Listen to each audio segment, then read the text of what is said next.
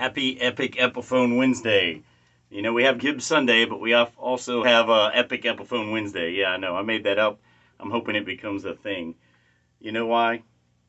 Not because I get paid for it, because I think it'd be cool if I got to be one of the progenitors of the thing, you know? So, uh, anyway, my guitar Epiphone choice of the week is the Epiphone Extura. And this is the, uh, the uh, yellow tiger gloss. I don't remember the exact verbiage of it, but whatever it is, it's like super cool. Uh, so I've been playing with this guitar for a while, and, and uh, for about two weeks I've had it. And thanks to Chris at Guitar Center, because when it came in used, before he even put it out, he called me up and said, "Hey, you're gonna want this."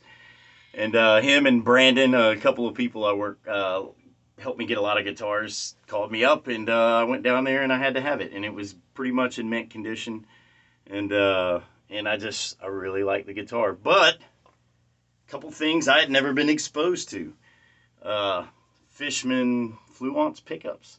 So I'll have to say that my favorite pickups are Gibson uh, made pickups. However, whenever I go aftermarket, I've always done uh, EMGs in an aftermarket or Seymour Duncans.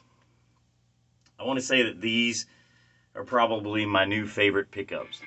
So there, this guitar, if you're looking for a metal guitar, just a badass, straight up shredder, heavy as hell guitar, pick this one because it's it's a great price for the amount of money that you put into this guitar and what you get out of it is well worth it. It's uh, it's it's very uh, light, I would say. Um, I love the fact that the back of it is um, don't even know what you call this uh, material, but it's uh, it's almost like a satin finish, but it's not. So it has a very smooth, fast back to it. But I also like a satin finish, and this is a satin finish. You know, some people don't like that, but I love it. Um, I like all kinds of finishes, but I, I love the way these feel and play.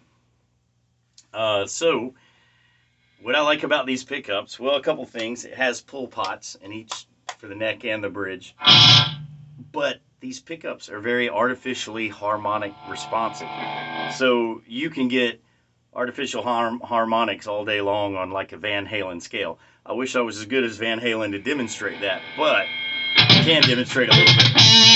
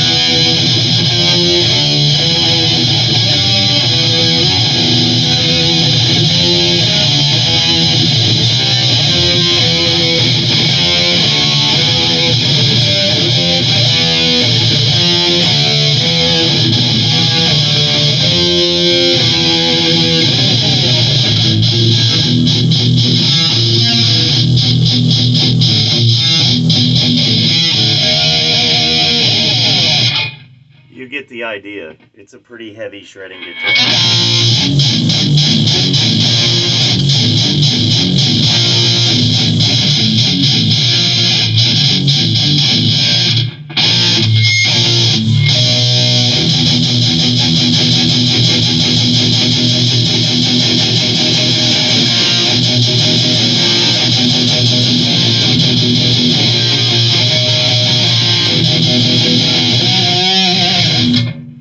It's a heavy guitar.